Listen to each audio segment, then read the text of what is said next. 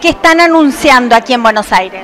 Este, es, en esta conferencia de prensa, no sé si la comunidad taiwanesa está presentando esta conferencia porque la comunidad taiwanesa quiere dar eh, su idea, expresar su idea sobre este tema de participación de Taiwán en la Organización Mundial de Salud, ¿no? que es la asamblea que, se, que tendrá lugar el día 20 a 28 de mayo próximo, ¿no? este, de este mes.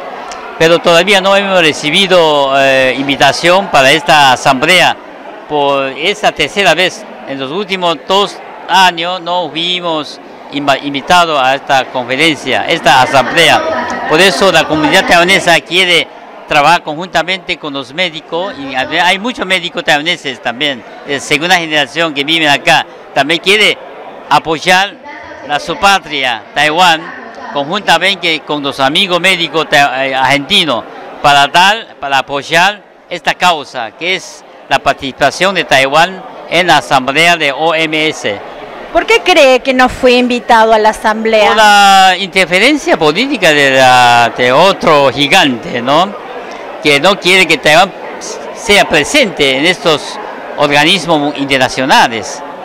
Motivo muy sencillo, eh, fue, fue una interferencia política, ¿no? No por la, no por la cuestión de la salud o técnica, sino por la cosa eh, política. ¿Qué le puede aportar Taiwán a la, em, a la, salud, a la salud mundial?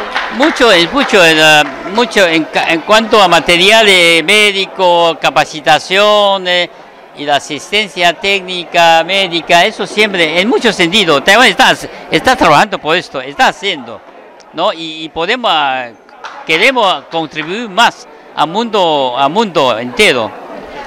Gracias, embajador. Bueno, muchas gracias.